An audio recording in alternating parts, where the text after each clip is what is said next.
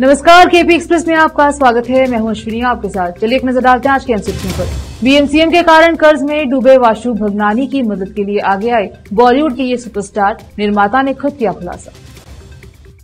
मुझे आपकी मदद की ज़रूरत है। रतन टाटा, किसके लिए तलाश रहे हैं? ब्लड डोनर आयुष्मान योजना। बुज़ुर्गों के लिए खुशखबरी। अब आयुष्मान योजना में होगा सत्तर साल पार सभी का इलाज।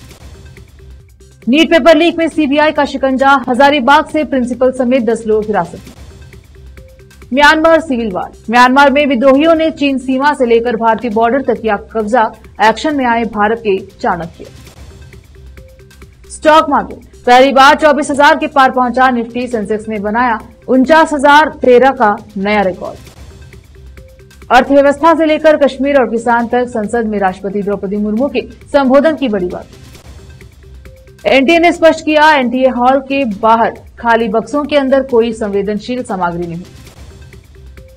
भारत अफ़गानिस्तान की हार का दोषी। इंग्लैंड के पूर्व कप्तान ने टी ट्वेंटी वर्ल्ड कप के कार्यक्रम पर उठाए सवाल, पक्षपात का लगाया आरोप। श्रीलंका में नहीं गली दाल तो चीन अब नेपाल में चल रहा, भारत के खिलाफ नई चाल India versus England T twenty World Cup 2024 क्या है आईसीसी का 250 मिनट वाला दिलचस्प रूल जिसका भारत इंग्लैंड मैच में होगा इस्तेमाल?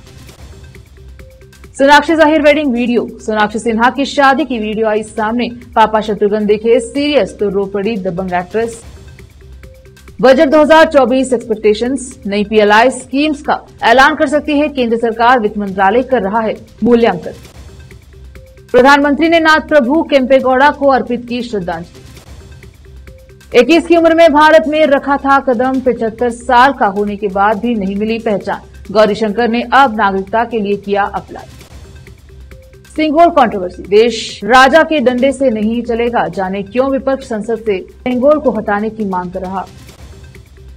यूएन में पाकिस्तान ने फिर उठाया कश्मीर मुद्दा, भारत ने इस बार दिया ऐसा जवाब कि इस्लामाबाद की हो गई छुट्टी लेखिका अरुंधति रॉय ने जीता पेन पिंटर पुरस्कार 2024 जूरी ने कहा, उनकी शक्तिशाली आवाज़ को दबाया नहीं जा सकता। नीट यूज़र स्कैम, सीबीआई ने गुजरात के छह विद्यार्थियों के बयान दर्ज किए। केपी एक्सप्रेस में इस वक्त इतना ही, फिर मुलाकात होगी अन्य समाचारों के साथ। देखते रहिए केपी न्यूज़ ट्वेंटी फोर धन्यवाद।